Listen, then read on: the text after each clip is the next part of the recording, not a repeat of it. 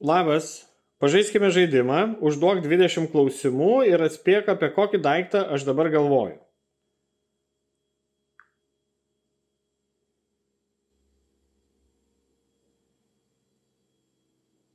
Labas, žaidžiam. Ar daiktas, apie kurį galvoji, yra gyvas? A, ne.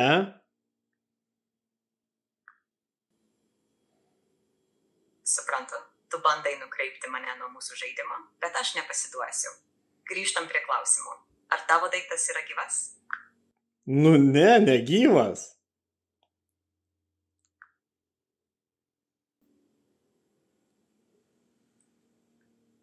Gerai, kaip aš. Ar daiktas, apie kurį galvoji, yra pagamintas iš metalo? Mm, labiau ne, gal viduje ir yra metalo.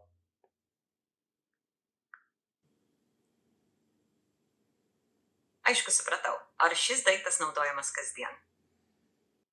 Mm, bū, mm, būtent šitas, a, gal ne visai, ne visai, kasdien.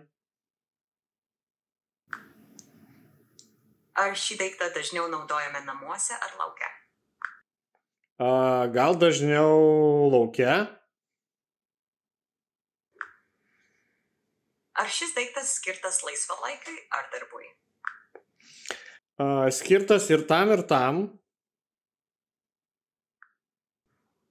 Įdomu. Ar šis daiktas yra transporto priemonė? Mm, ne, ne transporto priemonė.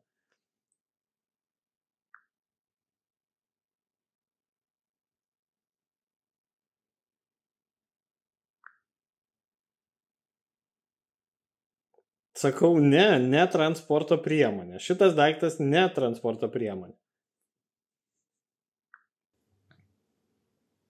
Gerai, ne transporto priemonė. Ar šis daiktas naudojamas pramogoms? Pf, gali būti naudojamas ir pramogoms. Ar šis daiktas yra susijęs su sportu ar fizinė veikla? Ne, nesusijęs su sportu ir fizinė veikla. Ar šis daiktas turi ekraną? Um, taip, turi ekraną. Taip, turi ekraną. Ar šis daiktas yra elektroninis prietaisas, pavyzdžiui, telefonas ar planšetė? Uh, taip, jisai yra elektroninis prietaisas. Ar šis elektroninis prietaisas yra nešiojamas? Taip, jį galima nešiotis.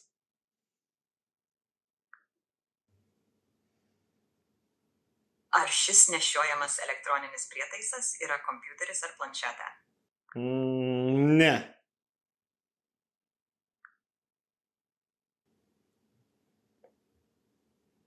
Ar šis nešiojamas elektroninis prietaisas yra fotoaparatas ar vaizdo kamera? Nu taip, tai yra fotoaparatas. Taip, šaunuolė.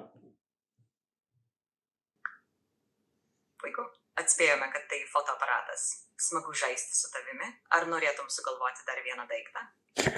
A, gal, gal rytoj dabar einu pa žmoną. Ar gerai?